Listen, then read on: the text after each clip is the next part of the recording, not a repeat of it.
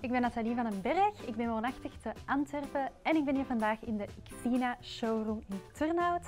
Ik heb mijn favoriete keuken eruit gekozen en dat is deze kleinere keuken, ideaal voor in een stadsappartement. Wat ik heel tof vind aan deze keuken is het open gedeelte.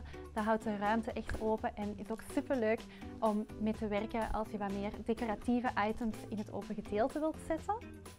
Waar ik vooral fan van ben in deze keuken is de combinatie van het hout met de zwarte details, bijvoorbeeld in de kraan, het zwarte blad en ook de ijskast. Ik vind dat heel mooi omdat dat heel veel warmte uitstraalt en daar hou ik wel van in mijn interieur.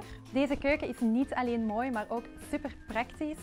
Um, zo is er gewerkt met schuiven, wat een heel handig opbergsysteem is. Het is ook een heel mooie damkap, wat dus ideaal is als je het in een stadsappartement in een open keuken hebt. Meestal een damkap is niet het mooiste, maar hier is het echt een eyecatcher.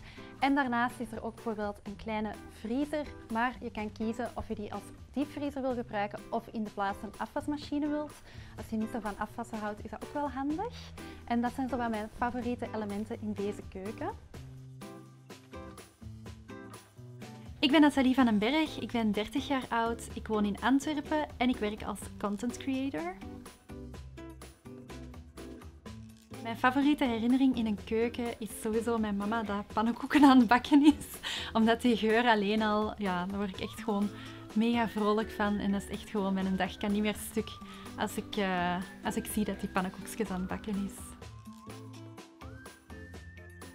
Het meest ongewone wat ik in mijn keuken doe, is spelen met mijn katten. Mijn kat vindt het namelijk geweldig om mijn afwasspons in de spoelbak de hele tijd te gooien. En dan leg ik die de hele tijd terug, doet hij dit er terug in. En uh, ja, dat is denk ik het meest ongewone wat ik in mijn keuken doe. Wat ik zelf het belangrijkste vind in een droomkeuken is dat het een mooi blad heeft, zodat het echt een eyecatcher is in mijn interieur. Ik hou het meeste van een open keuken, omdat ik vind het heel leuk om te koken en ondertussen ook met mijn partner te kunnen babbelen of met mijn gasten. En dat geeft gewoon een heel gezellig gevoel. Is dat goed of is dat te, te casual? Heel goed.